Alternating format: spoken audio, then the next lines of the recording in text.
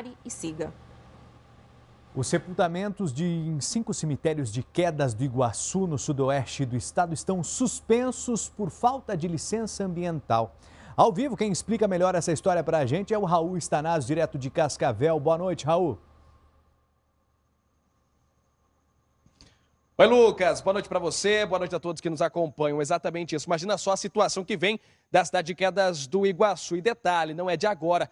Desde 2016, o município vem sendo alertado, principalmente pela Justiça, Ministério Público, falando sobre as adequações que deveriam ser feitas, licença ambiental vencida. E desde 2016, mesmo diante desse apelo da Justiça, nada foi feito. Por isso, dessa decisão de encerrar os enterros em pelo menos cinco cemitérios lá na cidade de Quedas do Iguaçu. Só depois das normas serem regularizadas, a licença ambiental voltar a ser ativa, aí sim poderão acontecer os enterros novamente. Até porque um caso como esse não traz somente prejuízo para o meio ambiente, mas também para toda a população.